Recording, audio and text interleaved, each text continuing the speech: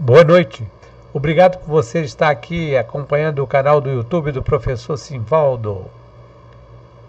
Hoje cedo saí caminhando até a escola Joaquim da Silva Gomes. Como sempre faço, passo pela rua Lopes de Moura, rua Lopes de Moura, é aquela rua que desce ali da igreja, o pessoal chama também de Morro da Igreja. Ela começa na estação ferroviária, ali na rua Álvaro Alberto, vai subindo até a Praça Dom Romualdo, onde tem a igreja. Ontem eu fiz uma postagem sobre a paróquia e hoje, descendo, fiz uma postagem sobre a rua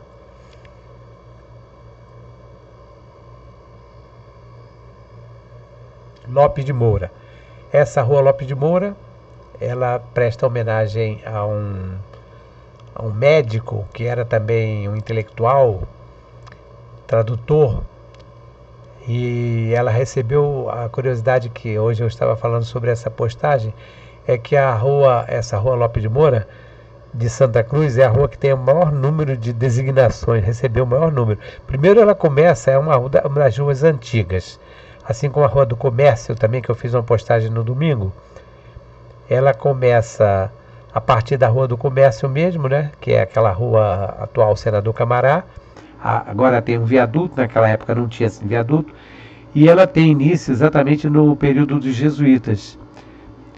Na época ainda não era uma rua, era um caminho, chamava-se Caminho da Atalaia dos Padres. A Atalaia dos Padres, a Atalaia era, era um mirante, era um, observa, um local de observação, ponto mais alto de Santa Cruz, de onde os, os, é, os jesuítas observavam toda, todos os escravos trabalhando com uma luneta. Depois ela chamou também caminho do Morro Imperial, o caminho do Mirante. Foram os caminhos que também Rua da Olaria Nova, Rua da Matriz, Rua da Alegria, enfim, dez denominações diferentes o Benedito Freitas, naquele terceiro volume da sua história de Santa Cruz, que pega a parte do Império, fala sobre essa rua e todas as outras ruas também. O, a minha apresentação de hoje está no YouTube, no YouTube sobre a Rua Lopes de Moura. Quem tiver curiosidade, dá uma passadinha lá. E agora, para encerrar as atividades de hoje, eu vou falar sobre Thomas Ender, um pintor vienense em Santa Cruz. Eu já escrevi alguns artigos sobre Thomas Ender que foram publicados no Jornal do NOP, do Núcleo de Orientação e Pesquisa Histórica, e também numa revista que foi publicada na época da fundação da Faculdade Machado de Assis, a revista Fama Universitária. Então me pediram, eu fiz um artigo sobre o Thomas Ender. E exatamente o artigo, o título do artigo foi esse: Um pintor vienense nas terras de Santa Cruz. Esse pintor é, é o Thomas Ender. Tem aqui dois retratos dele, um retrato de autoria do colega austríaco Johann Hause, de 1834, e outro que faz parte da galeria Friedrich von Abelin, é, domínio público. Essas demais ilustrações, elas todas se referem a Santa Cruz. Essa aqui de cima é aquela muito conhecida nossa do Thomas Ender, que ele foi o único pintor que esteve nesse período do século XIX que registra as obras. Aqui tem os andaimes. Essa daqui já é com as obras concluídas e aparece naquele livro das cartas de Dona Leopoldina, um livro muito bonito, Cartas de uma Imperatriz. Então é uma aquarela colorida. Aqui é uma outra que aparece também tanto no livro do Gilberto Ferreira, O Brasil de Thomas Ender, como também em uma publicação que saiu sobre a rota da China. O Brasil é a rota da China, que é um livro também muitíssimo bonito. Então essas duas aqui aparecem no livro Brasil, é, uma rota da China. Ele nasceu no dia 3 de novembro de 1793 e morreu em Viena. Nasceu e morreu em Viena 28 de setembro de 1875. Pintor aquarelista, gravador, desenhista, especialista em retratar paisagem, é artista a serviço do Império Austríaco. Ele vai trabalhar de 1804 até 1867, em nome da qual realiza várias viagens e produz centenas de obras de arte.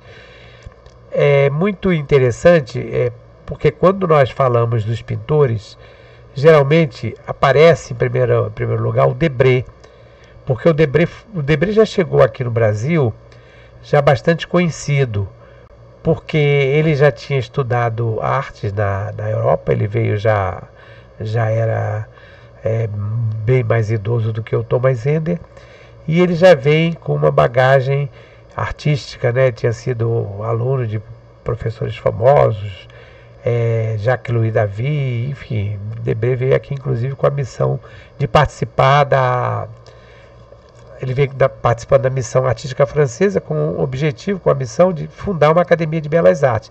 E já o Thomas Ender, mesmo tendo uma produção tão valiosa, tão preciosa, de tanta qualidade como o Debré, claro que cada um tem as suas especificidades, né?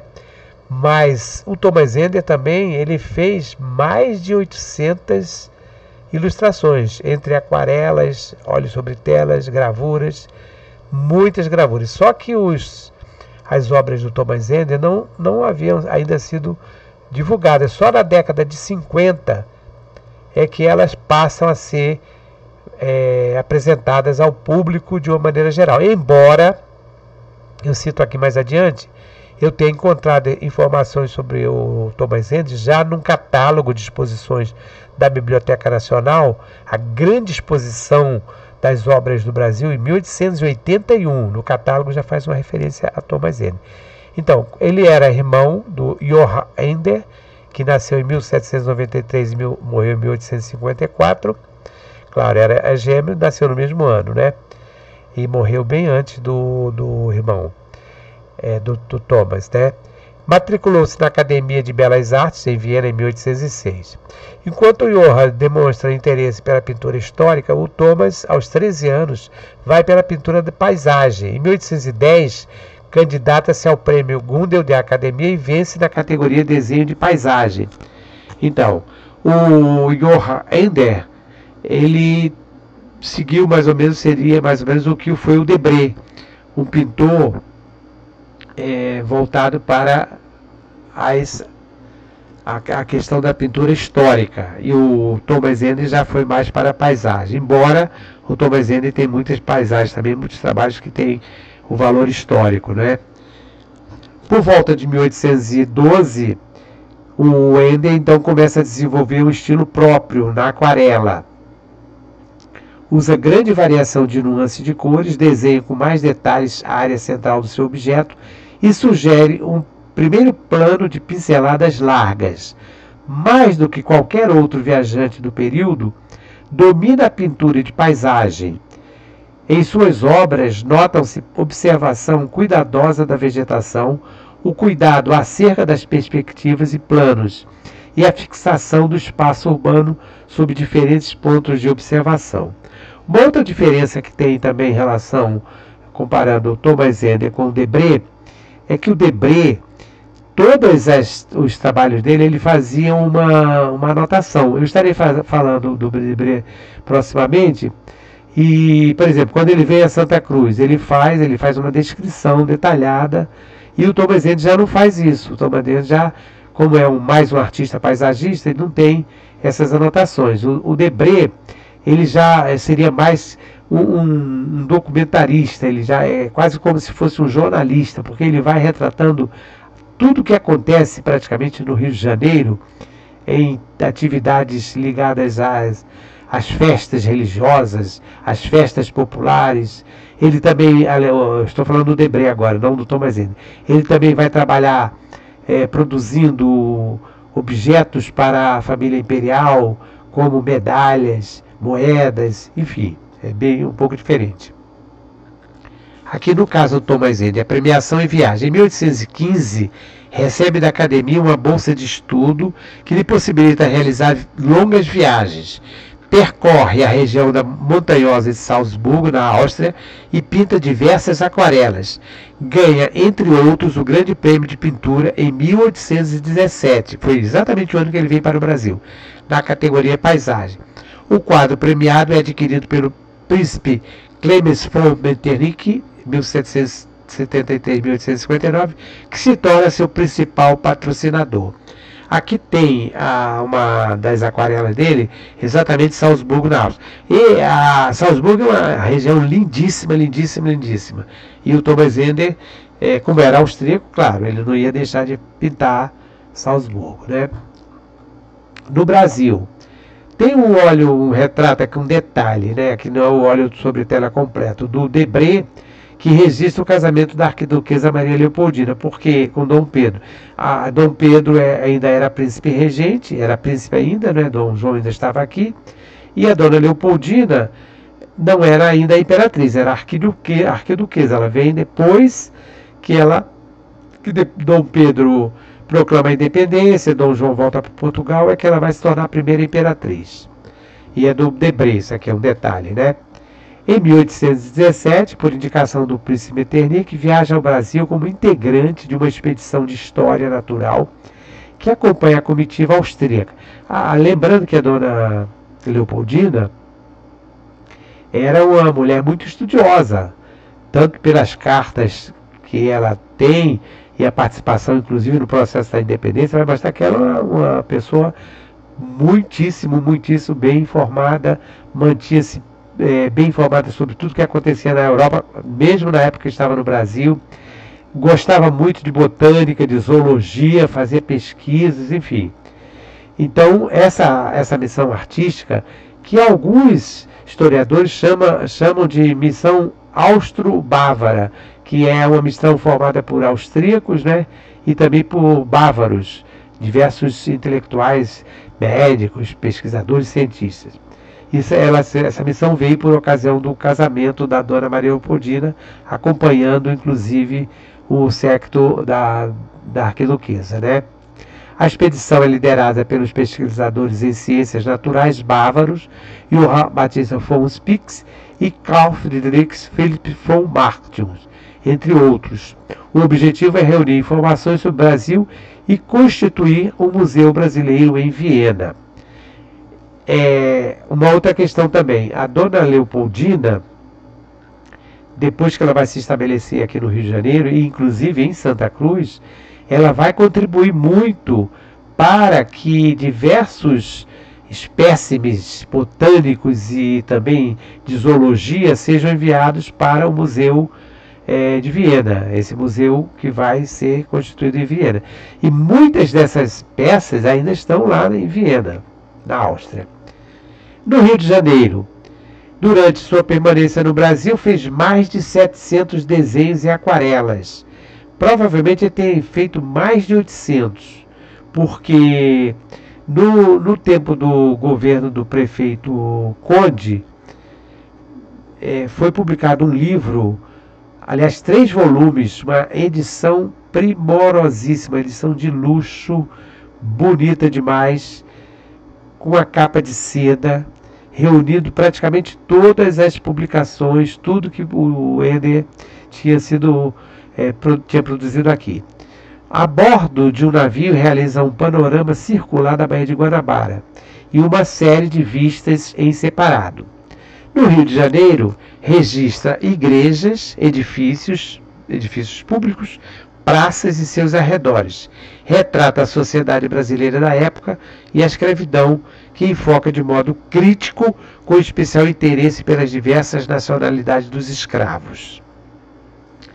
No tocante aos povos escravizados, o Thomas Ender, no caso dos pintores que já que passaram por Santa Cruz, foi aquele que fez o registro de forma mais, digamos, mais realista, porque ele tem algumas eh, gravuras conhecidas, pelo menos duas, mostrando as mulheres escravizadas trabalhando, buscando água, se abastecendo de água potável em uma mina que ficava nas proximidades do antigo Palácio Real de Santa Cruz.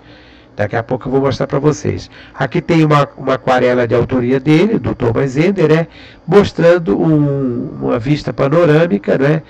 da, da Baía de Guanabara. Um, uma parte está no Museu de Arte de São Paulo, o MASP. Aqui está a, uma reprodução da capa da publicação que foi publicada no governo do prefeito Conde. Ele apoiou, estou falando muito dele aqui porque eu sei que na, nas obras consta lá que ele te, deu apoio. Porque foram enviados pesquisadores, acredito inclusive que pagos pela prefeitura, não tenho muita certeza, e trouxeram cópias, reprodu reproduções que deram origem a esses três volumes aqui. Olha, são três volumes belíssimos, belíssimos, belíssimos. Quando saiu, adquiri um exemplar, uma porque é uma caixa, né? Uma caixa grande, é, é uma coisa luxuosa. Hoje eu não tenho mais, lamentavelmente. Mas agora fazendo essa pesquisa para essa postagem, tive a grata su surpresa de que foi publicado no ano passado uma daquelas coleções do Thomas Ender e o Brasil. É, é um catálogo raisonné, quer dizer, tudo, toda a obra do Thomas Ender deve estar nessa publicação de 2 de 2022. Eu ainda não comprei, já vi que tem lá no Amazon, custa em torno de 180, 190 reais, mas vale a pena para quem gosta, como eu, de obras luxuosas, essas obras raras, porque essas obras elas saem uma edição limitada, elas não saem uma grande quantidade. Depois que, que termina a edição, é muito difícil. Aí começa a vender pelos sebos aí afora com preço bem caro, né? Então esse olhar crítico sobre a escravidão vai aparecer muito aqui em Santa Cruz. E da Academia de Viena, aqui tem uma foto da, da do portal de entrada da Academia de Viena. Em 1818, adoece grava, gravemente e retorna à Áustria. Ele estava no Rio, no, aqui no Brasil, e retorna à Áustria, levando os desenhos e aquarelas que em grande parte são armazenados no gabinete de gravura da Academia de Belas Artes de Viena. Então, esse acervo todo está na Academia de Belas Artes. E foram esses pesquisadores no, na época do governo do prefeito Luiz Paulo Conde, que estiveram lá e fizeram as reproduções e saiu aquele livro. O artista não organiza nenhuma publicação com esse material, muito diferente do Debré, porque o Debré sai do Brasil quando Dom, João, quando Dom Pedro abdica, né, Dom, o Debré retorna à França, mas já com tudo praticamente organizado, tanto que em 1834 já sai a primeira edição não sei se é o primeiro volume, porque foram três volumes, da Viagem Pitoresca ao Brasil, do Debré. E porque ele foi organizou tudo. O, já o Thomas ainda não. No entanto, algumas de suas criações aparecem em livros de cientistas naturalistas da época, porque ele, ele não veio a, acompanhando diretamente, trabalhando para esses cientistas, mas como eram é, patrícios eram da, todos eram austríacos ou bávaros, ou, eles acabaram fazendo parceria e muitos trabalhos do Thomas Ender acabaram sendo publicados por eles. Né? Um ano após, quer dizer, ele retorna à Áustria, já em 1818. Né? Acompanha o imperador Francisco I, de 1768 a 1835, em uma viagem à Itália. Recebe em seguida uma bolsa de estudos em Roma em 1824, é nomeado membro da Academia de Belas Artes de Viena e permanece no cargo até 1850. A partir de 1829, paralelamente às atribuições da Academia, torna-se pintor oficial de Câmara e Serviço da, Arquiduque, do Arquiduque Johann, 1782-1859. Nessa atribuição, pinta paisagem dos Alpes austríacos e das viagens do Arquiduque muito, deve ser muito bonito esses Alpes austríacos, né? E Santa Cruz, eu escrevi um artigo que foi publicado aqui. O título desse artigo é Thomas Ender Santa Cruz em aquarela. Ele foi publicado no jornal do Núcleo de Orientação e Pesquisa Histórica, numa edição já já não é aquela edição inicial que nós começamos em 1984 1994. Já foi uma outra edição de jornal que sai em maio de julho de 1990. E nós passamos a dar uma nova numeração, é número 2 de 1990. E aqui tem um texto que eu tirei do jornal para que foi publicado, né, com esse, esse título de Thomas Ender, Santa Cruz em Aquarela. Encontramos referências ao nome de Thomas Ender no extraordinário e monumental catálogo da exposição de História do Brasil inaugurada na Biblioteca Nacional no dia 2 de dezembro de 1881. Esse, esse catálogo ele foi publicado em dois volumes em 1881. Depois, a Universidade Nacional de Brasília, UNB, já na década de 90, acho que foi em 80 mesmo, 1980, década de 80, é, publicou em facsímile esses, esses catálogos. O primeiro volume é um catálogo, uma maçaroca de páginas, mas é um trabalho fantástico. Já, já tive esses exemplares, hoje não tenho mais, mas eu andei pesquisando, me parece que isso já tem na internet. Quem tem interesse por esse tipo de pesquisa, dá uma olhadinha lá, porque parece que já está digitalizado. E nesse catálogo eu encontrei referências exatamente ao Thomas Edison. É veja que é um catálogo de 1881. Então não quer dizer que foi só a partir de 1950 que ele era conhecido.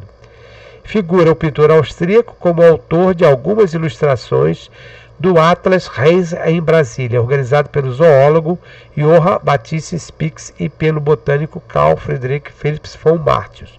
Então, não foram trabalhos, digamos assim, só do Thomas Ender, foram eles que eram se tornaram bem, na época, né, bem mais conhecidos, famosos do que o Ender. Hoje não, hoje o Ender ultrapassou. É o os Pix e o Martius, né? E foram companheiros de Thomas Ender. Aparece essa citação referentes a esses dois. Que aparece na exposição científica que acompanhou o séquito da princesa Dona Leopoldina que era arquiduquesa, né? Como eu falei, ele vem aqui acompanhando. Muito interessada nos estudos de história natural, que se tornou a primeira imperatriz do Brasil, casando-se com o então príncipe e depois imperador Dom Pedro I. Dona Leopoldina, quando ela vem a Santa Cruz, ela cita muito isso, muito essa questão da, dos estudos que ela fazia, do interesse que tinha, inclusive mandando cartas para o pai, dizendo que estava enviando, inclusive animais, macacos, ela pedia para que fosse caçado e depois eles mandavam por navio para, para a Áustria. Durante a passagem da expedição científica por Santa Cruz, o antigo convento dos padres jesuítas passava por grandes reformas para receber mais confortavelmente o rei Dom João VI e os príncipes recém-casados, no caso Dom Pedro I, que depois seria Dom Pedro I e Dona Leopoldina, sendo Thomas Ender provavelmente o único artista da época a pintar o futuro Palácio Real Imperial de Santa Cruz com seus andaimes laterais característicos das obras. Esta esta aquarela, este desenho que aparece aqui, é bastante divulgado por mim em várias postagens, porque ele, ele serve como um exemplo para várias citações. É o único que eu encontrei que mostra os, os andaimes. Como eu já, já expliquei, o convento dos jesuítas, essa aqui era o convento, né? Deixa eu pegar aqui, cadê a setinha? A setinha não quer aparecer aqui. Mas aqui a parte central, aqui vocês vejam a Torre Cineira com essa, essa, esse formato aqui de meia laranja que o Lúcio Costa, o arquiteto Lúcio Costa, quando vai fazer o estudo sobre a arquitetura jesuítica, ele se refere muito a isso, porque quem conhece, quem se interessa pelas obras de arquitetura jesuítica, principalmente as igrejas, vão observar que várias torres cineiras têm essa, essa meia laranja aqui. Inclusive a, a de São Francisco Xavier de Itaguaí, e essa, essa aparência aqui, ela também vai é, ter uma semelhança com algumas outras igrejas, em, mesmo em São Paulo e fora do Rio de Janeiro. Então aqui era a capela e a residência dos jesuítas nessa parte. Quando chega a família real, que o antigo convento vai se tornar em Palácio Real, eles vão construir uma outra parte aqui. Por isso que tem os andaimes, é muito importante. Aqui nós temos um facsímile da folha de rosto do livro Thomas Ender, pintor austríaco na corte de Dom João VI no Rio de Janeiro, contendo textos e citações alusivos à passagem de Ender por Santa Cruz. É um livro muito interessante do J.F. de Almeida Prado, que fala exatamente sobre Thomas Ender em Santa Cruz, no Brasil, de maneira geral, claro, que vai citar Santa Cruz também. Aqui ainda continuando o texto, meu texto, que eu tirei do jornal, não é? Foi ainda Thomas Ender o único a desenhar alguns orientais, no caso chineses, que restavam na Real Fazenda. Recordação muito oportuna, pois em 1820, segundo o viajante francês Saint-Lé, já tinham quase desaparecido, conformados os poucos que restavam implantar jasmim ou hortelã-pimenta em torno de suas pequenas e asseadas cabanas, nos tratos de terra que eles tinham confiado para cultivar. Então, o Santilé fala que não, é, já não existiam mais. A Maria Gran, que veio em 1823, eu fiz uma postagem da Maria Grande no domingo. Quem tiver curiosidade, dê uma passagem lá, uma passada lá no meu canal que vai encontrar. A Maria Grande, que passou por Santa Cruz em agosto de 1823, também fala que a produção de chá em Santa Cruz, embora ela, ela é, elogie a qualidade, ela diz que a quantidade era muito pouca.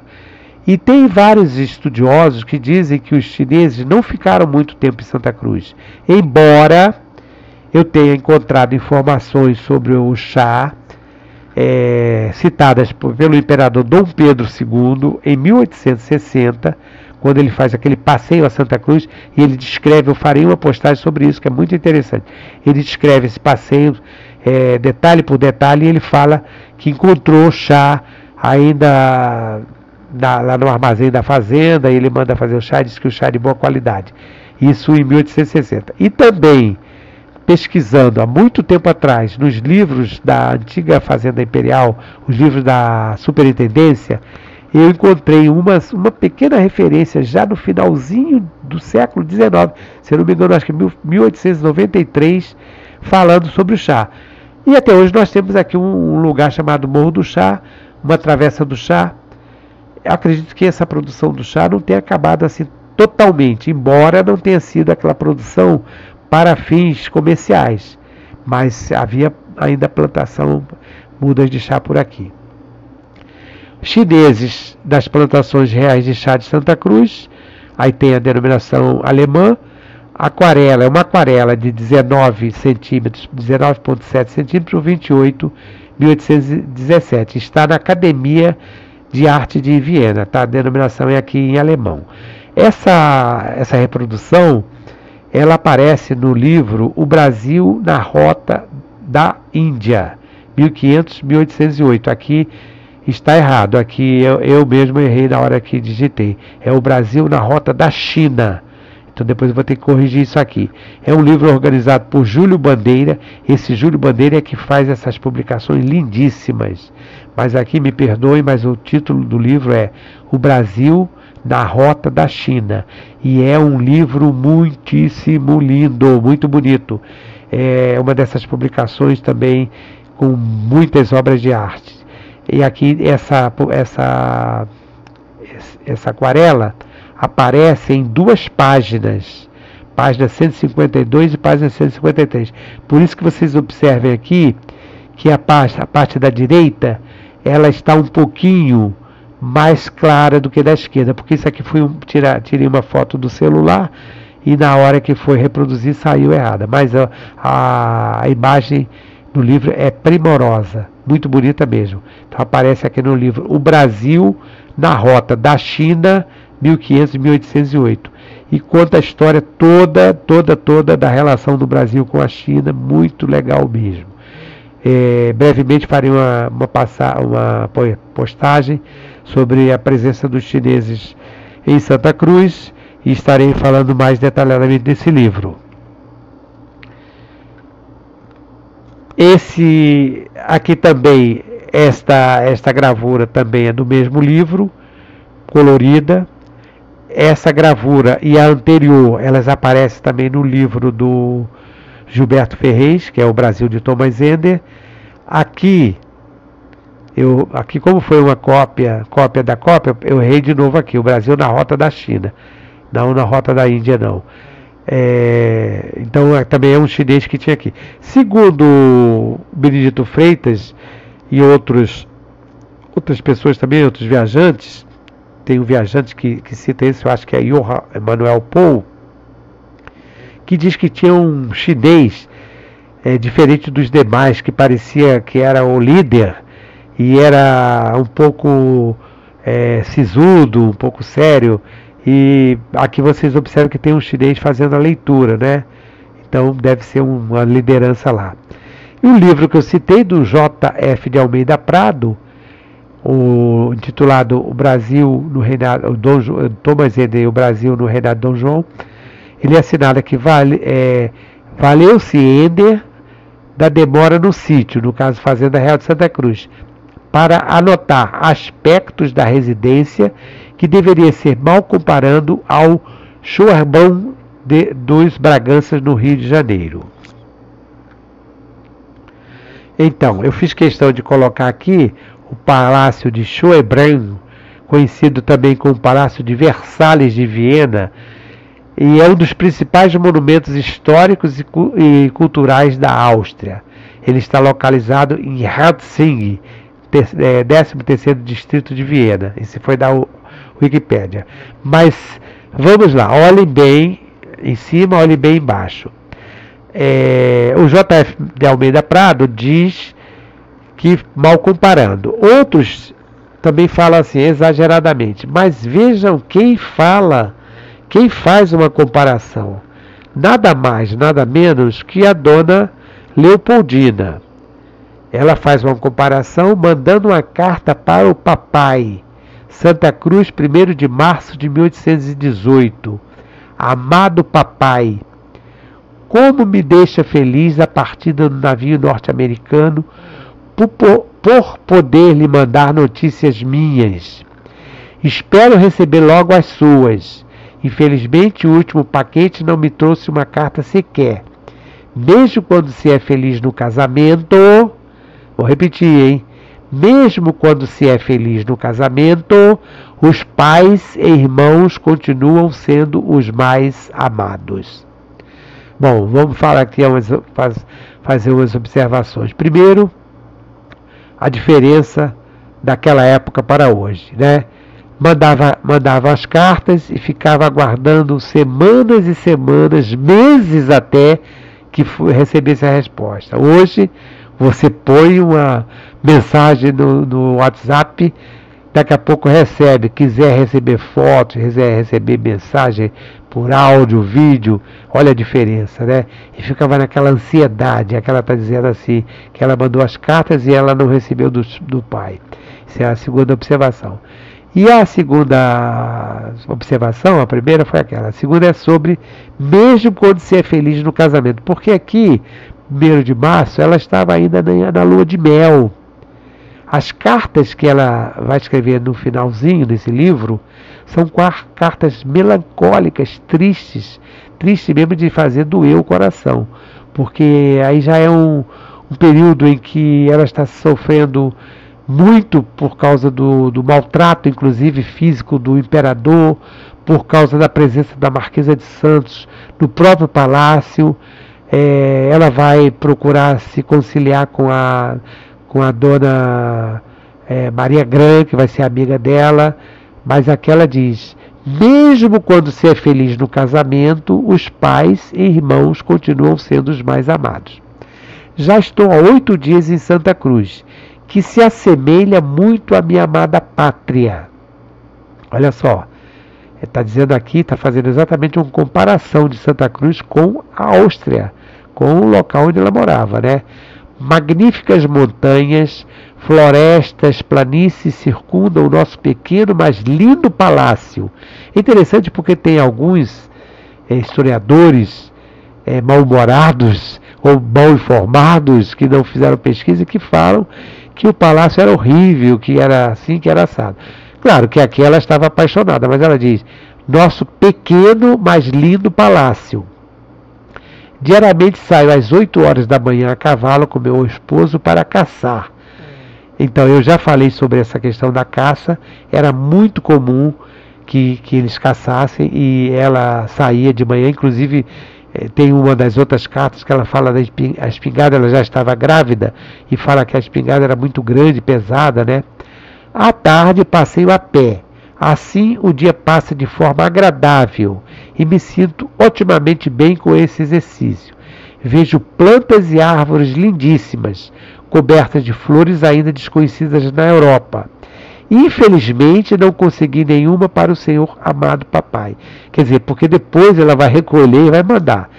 Peço que beije as mãos da querida mamãe por mim, querido papai, e permaneço sempre com o mais profundo respeito e amor filial. Aí é querido papai de novo. Sua filha muito obediente Leopoldina. É, a mãe dela, que ela está se referindo aqui, na verdade não é a mãe natural, é uma madrasta.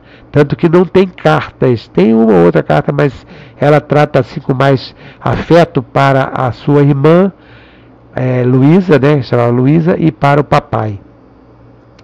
Então, é o período ainda da, da paixão, da lua de mel. Esta, essa comparação vocês podem fazer e vocês tirem a conclusão. Claro, tem uma certa semelhança sim, não tem tanta diferença assim não.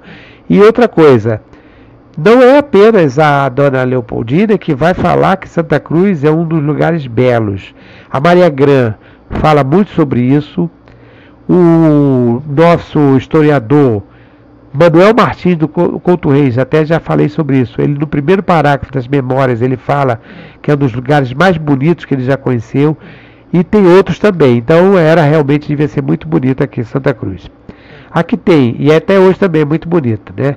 Vista da Fazenda Real, antiga propriedade dos jesuítas, tornou-se local de veraneio da família real portuguesa. Hoje, Santa Cruz é um dos bairros da zona oeste do Rio de Janeiro Thomas Dender, lápis aquarelado, 1817. Detalhe: este, este lápis aquarelado aparece no livro, é, ilustrando uma da, das páginas do livro, Cartas de uma Imperatriz, que exatamente são as cartas de Dona Leopoldina aos pais, à irmã e outras pessoas, né? Aqui está uma reprodução do jornal do NOP, que eu me referi anteriormente, NOP 0290, de maio a julho de 1990, e aqui em cima uma chamadinha para o artigo que eu escrevi, Thomas Ender, Santa Cruz em Aquarela.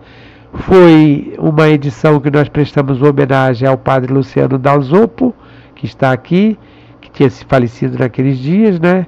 E aqui eu já faço um editorial falando sobre o valor da história local. Bom, os trabalhos de Thomas Ender, que até a década de 1950 eram praticamente desconhecidos no Brasil, passaram a ser efetivamente divulgados a partir dos estudos empreendidos pelo historiador e iconógrafo Gilberto Ferrez do Instituto Histórico e Geográfico Brasileiro, que obteve autorização da Biblioteca da Academia de Viena para a reprodução da grande maioria dos esboços, desenhos e aquarelas insetos na obra O Brasil de Thomas Ender. É um livro muito precioso. Ontem, numa postagem, eu falei também sobre o Gilberto Ferrez, porque Gilberto Ferrez, naquela postagem que eu, falo, que eu falo sobre Maria Gran, porque o Gilberto Ferrez fez a doação ao NOP de duas reproduções é, de fotografias de, de desenho da Maria Grã. A única diferença do Brasil de Thomas Eder para aquela obra que foi publicada no governo do na época do governo do Luiz Paulo Conde, que era prefeito, é que no Brasil de Thomas Eder, que é uma obra de 1976, está aqui, ó, prefaciada por, pelo por Francisco de Assis Barbosa, que era um dos estudiosos também de, de ilustrações, de gravuras, né? É, nesta época não tinha tanta. Essa, essa Brasil Thomas Ende não tem tantas ilustrações coloridas. Tanto que essas de Santa Cruz, elas não são coloridas, não tem nenhuma colorida. Aquela que eu mostrei para vocês, ela já aparece no livro Cartas de uma Imperatriz.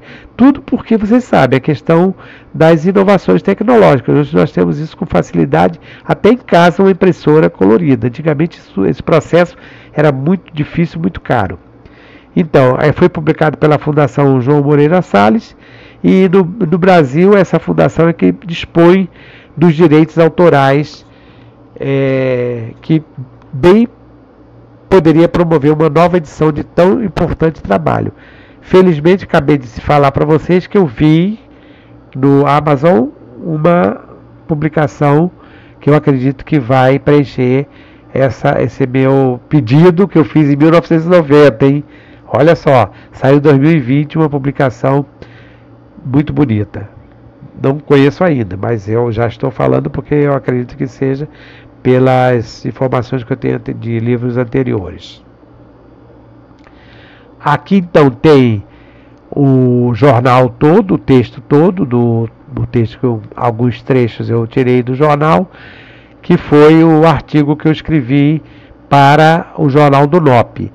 E, como sempre, colocando aquela, aquela ilustração dos chineses e uma das ilustrações do Thomas Ender que pega é, o Palácio Real um pouco afastado.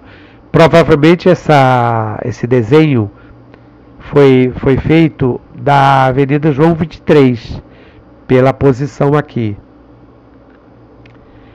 Aqui tem uma da mina d'água e aqui um detalhe que aparece lá na frente, que é exatamente o cruzeiro.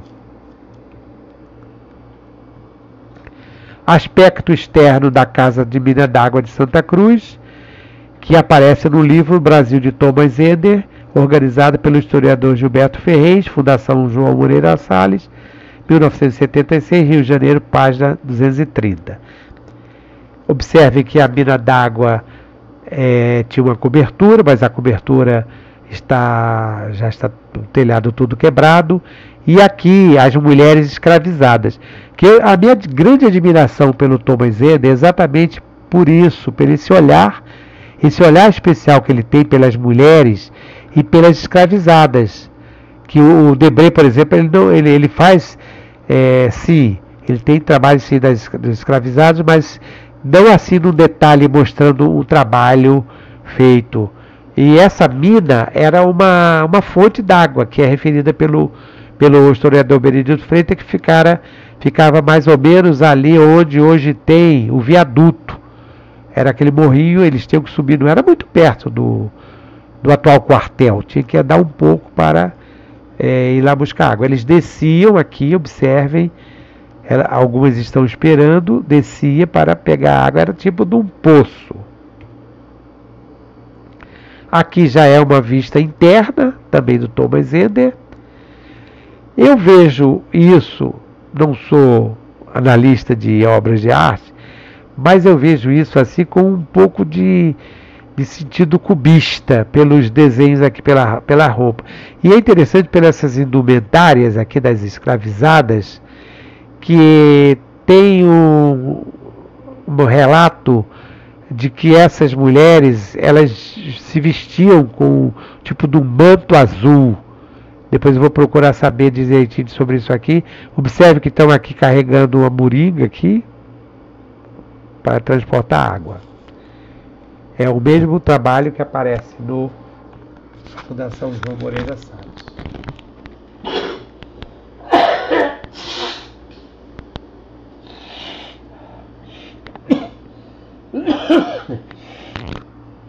Me desculpe aí a paradinha. Outro detalhe: Thomas Ender foi o único pintor europeu do século XIX que teve a preocupação de fazer o registro das mulheres escravizadas trabalhando na Fazenda Real de Santa Cruz. Eram mulheres que se encarregavam de fazer o abastecimento de água potável nas dependências do então Palácio Real. Então aqui é um detalhe dessas mulheres, né? E aparece também naquele. É um detalhe, aparece no mesmo livro do Brasil de Thomas Ende do Gilberto Ferreira. mais um outro pedaço aqui, para que vocês observem como é que funcionava a história, né? Algumas ficavam esperando até que a outra abastecesse, depois ela saía. As minas d'água mencionadas nas legendas eram as fontes, onde essas mulheres iam diariamente munidas de moringa, baldes provavelmente, para abastecer dependências do Palácio Real.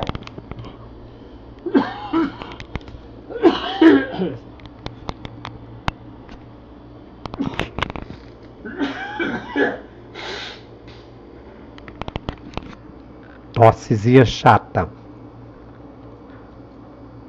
Mesma coisa, o aspecto interno.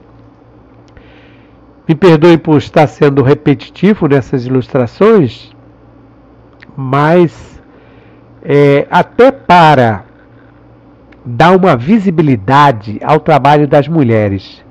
Porque vejam que eram todas mulheres que iam pegar água. Era um trabalho que elas faziam e água é, é, fonte de vida, é alimentação, é sinal de saúde. E como eu já falei aqui das riunas, aquelas mulheres escravizadas que trabalhavam fazendo as valas, né? Eu também faço questão aqui de chamar, de mostrar essa, essa gravura, por isso que eu fiz é, questão de, de ampliar e repetir, reproduzir várias vezes. Aqui é a mesma reprodução daquela que aparece no livro Carta de uma Imperatriz, colorida, diferente das, das reproduções que, que foram publicadas no livro do, do Gilberto Ferrez. Já expliquei por quê, né? Porque na época a reprodução colorida era muito mais cara. Mas vocês observem que aí nós temos as senzalas de um lado e de outro. Desse lado aqui, eles chamavam de Pacotiba, e desse lado aqui chamavam de Limoeiro. Aquela praça que tem no quartel até hoje, e do lado de cá, onde tem a Codelaria Imperial, que era onde tinha o Aras de Dom Pedro. Lá no fundo, as serras de Itaguaí. Um trabalho de 1817. Esse artigo, também de minha autoria, foi publicado na revista Fama Universitária. Eu escrevo assim: Eis aí um título, no caso, o pintor vienense nas terras de Santa Cruz. Eis aí um título para ser pensado futuramente como tema de samba enredo da Acadêmicos de Santa Cruz. Olha aí, pessoal, quem é da Acadêmicos? Paulo Faleiro, quem tiver relação com o acadêmico aí, vai minha sugestão. Aí, ó, um tema para ser um samba enredo. Ruth, quem é da Acadêmica de Santa Cruz aí, é, pode passar essa sugestão. Um pintor vienense nas terras de Santa Cruz. Uma história que pode começar com a chegada de Dona Leopoldina ao Rio de Janeiro e a vinda das duas missões naturalistas que percorreram boa parte do território brasileiro. Lembrando, inclusive, que uma escola de samba, não foi a Acadêmica de Santa Cruz, já fez um samba enredo homenageando Langsdorff. E foi, foi um dos samba enredos mais bonitos que eu já vi. O Langsdorff é, foi outro viajante que também passou por Santa Cruz. Eu também falarei sobre ele é, é, provavelmente numa das postagens. E foi um samba enredo. Então, era, essas expedições eram que hoje poderíamos definir como multidisciplinares, pois delas faziam parte botânicos, zoólogos, geólogos e pintores como o paisagista vienense Thomas Ender. Então, no caso da missão artística francesa do Debré, de, que veio em 1816 para para criar, principalmente com o objetivo de criar uma academia real de belas artes, depois quando veio o Império seria uma academia imperial, ela também veio, é, quando eu falar do Debré, estarei falando um pouquinho dessa academia, ela também veio com vários especialistas, eram arquitetos, né, como o, o Pradier, eram pintores de história como Debré, pintores de paisagem como os irmãos Toné, eram é, especialistas em, em metais, em é, moedas, enfim, é uma quantidade de especialistas diversos. Por isso que nós estamos falando aqui de uma é, expedição multidisciplinar. Então, a missão austro-bávara que veio Thomas Ender, mesma coisa. Ela não aparece tanto pelos historiadores com esse nome, já a missão artística francesa aparece. Inclusive, tem muitos livros interessantíssimos sobre a missão, missão artística francesa. A questão aqui que eu cito no artigo é sobre o fascínio que nós temos pela capital da pela Áustria, né, pela, pela por Viena. Eu por isso que por isso que estou sugerindo aqui a, a questão do tema, que daria um tema muito bonito. Quem sabe se o consulado, a embaixada da Áustria no, no patrocine, no ajude, ou então alguma empresa austríaca aqui no Rio de Janeiro. Fica aí a sugestão para acadêmicos, então. Aqui tem um texto: sempre sentira desejo de viajar nessas condições, escreve o pintor. Acrescenta ter começado a viagem graças à proteção do, chance do chanceler, no caso o príncipe Metternich, em 1817. Né? Então, neste artigo, um pintor vienense em Santa Cruz, é, eu faço a referência exatamente aos desenhos de escravas retirando e transportando água. Ela não é, esse desenho não aparece aqui. Então, escravas retirando e transportando água da fonte que abastecia o Palácio Real de Santa Cruz, que são documentos de grande importância para a história local, pois a fonte da Carioca, segundo o historiador Benedito Freitas, foi o mais antigo manancial que abastecia a fazenda. Essa questão da fonte, do abastecimento, é muito interessante, é um trabalho que deveria ser mais aprofundado, porque tem alguns viajantes, inclusive o próprio, acho que é o Langsdorff, Langsdorff que na, na sua descrição reclama que durante a viagem encontrou muita dificuldade para, para saciar a sede. Eu não tenho muita certeza se foi o Langsdorff ou foi o Johann Paul, Emmanuel Paul, um dos dois, ou foram os dois, é, que fazem referência a essa falta d'água. E nós sabemos que aqui em Santa Cruz tem muitos, muitos canais, muitos rios, desde o tempo dos jesuítas. Então não tem muito sentido isso. E, é, e tem essas fontes onde eles iam abastecer água. Só não tinha, claro, água encanada, não, ainda não havia isso, né? Além de ter desenhado a fachada do Palácio Real, o pintor vienense aproveitou sua permanência na fazenda para pintar o antigo convento de outros ângulos, que é o caso aqui. Vocês podem observar que tem aquela fachada que aparece com os andaimes, né? E de outros ângulos, mostrando é, o interesse dele por Santa Cruz. Palácio Real de Santa Cruz em 1818, reprodução do livro Brasil de Thomas Ender, organizado pelo historiador Gilberto Ferrez, Fundação João Moreira Salles, 1976. É o mesmo desenho, aquele colorido, que aparece no livro das cartas da Imperatriz. Só que lá aparece colorido e aqui aparece preto e branco.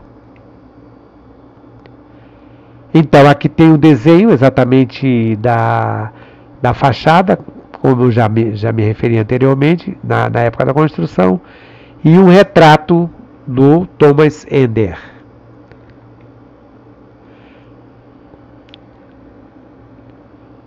Então aqui encerro esta apresentação, Thomas Ender, um pintor vienense em Santa Cruz. Se você gostou, não deixe de fazer um comentário e de compartilhar com seus amigos. Até uma próxima postagem. Aqui é o canal do YouTube do professor Simvaldo.